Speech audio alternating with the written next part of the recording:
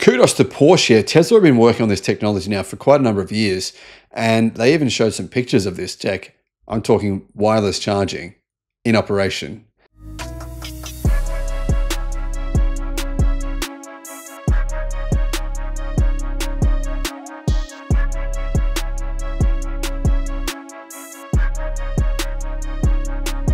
But Teslas don't have this feature yet. Mercedes Benz, I've heard they're working on it.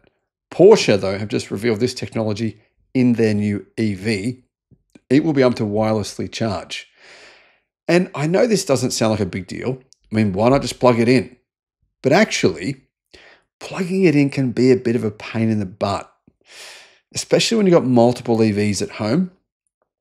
It's not a big deal, I agree, but I think that this would be awesome and definitely a benefit versus plugging in. Sometimes you'll find with different EVs they can get stuck and the car forgets that it's locked to the car. And I've had this experience quite a few times with different models of cars when I'm testing them. Not having to worry about it being stuck would be awesome. Hello, my friends. Welcome to the channel. I'm Sam Evans. You're watching the Electric Viking. I just drove a Porsche Macan for a couple of thousand kilometers, the Macan Turbo.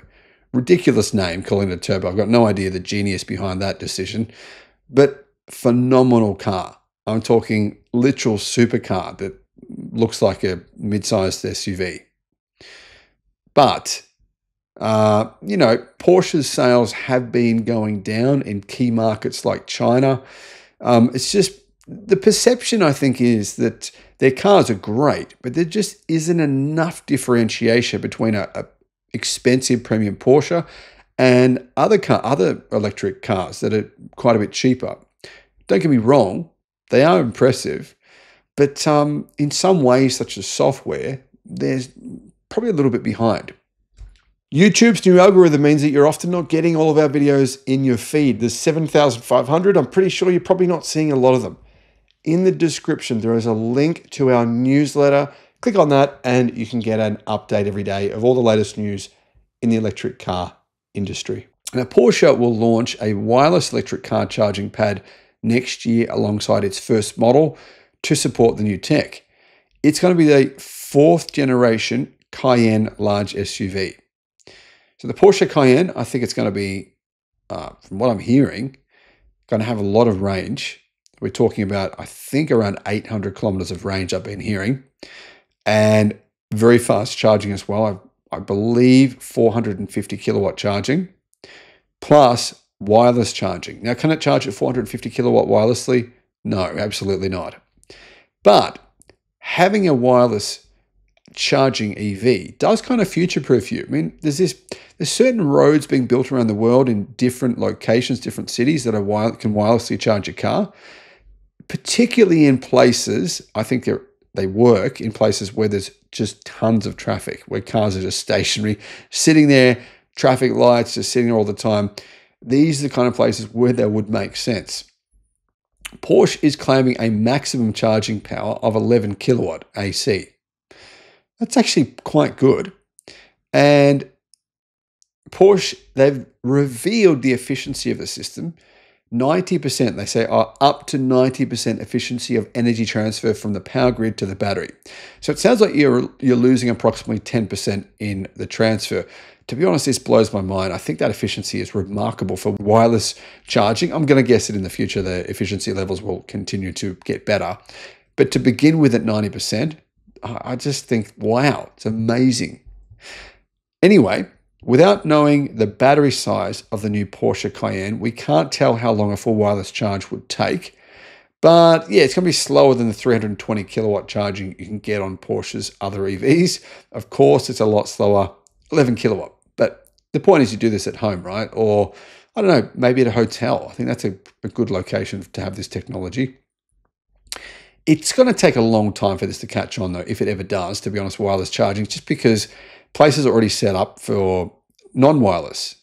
But I think this would be great because sometimes when you plug your car in, there's problems with the cables, uh, there's problems with connectivity, there's problems with not being the right ch charging cable for your car. If, every, if we had wireless charging pads all over the place and every car could charge wirelessly, which eventually they will be able to, or most of them, you would think, That would eliminate some of that those compatibility issues. And the cables not being long enough, having to try and park your car in a different direction, etc., etc. The wireless charging pad also would make it more convenient to charge at home, where 75% of Porsche EVs are recharged according to the brand. And it can be installed in a garage, carport, or open air space. Measuring 1,170 millimeters long, so about 1.2 meters long, and 780 millimeters wide. It's also 60 millimeters tall, so it's yeah, it's about six centimeters above the ground. It weighs 50 kilograms, and those are the dimensions of the charging pad. It easily slips under a compatible EV or any, well, to be honest, any car, regardless of powertrain. Of course, it's only going to work on an electric vehicle, but the point is that um, it's not it's not so big that only some cars can drive over the top of it. Similar to a smartphone, the wireless charging pad will only work on vehicles with the appropriate hardware.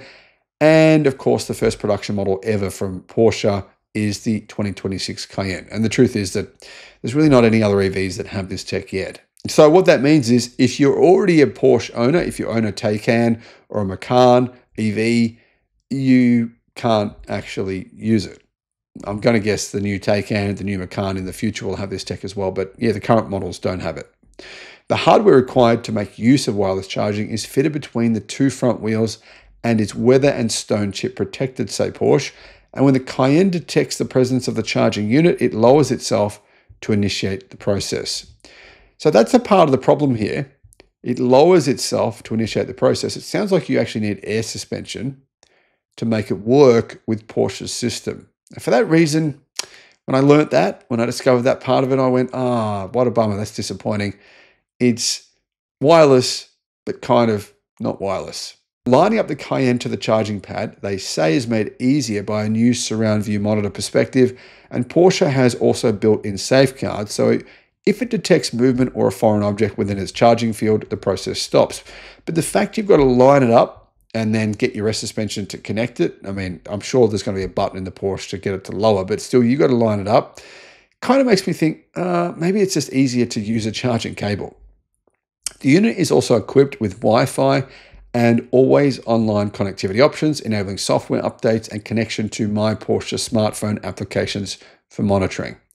Buyers of the Cayenne EV will still have access to DC fast charging of 400 kilowatt the fastest of any production Porsche so far. Interestingly, this does provide Porsche with some differentiation that I mentioned earlier they don't really have. There's plenty of other EVs out there that are super powerful, super fast.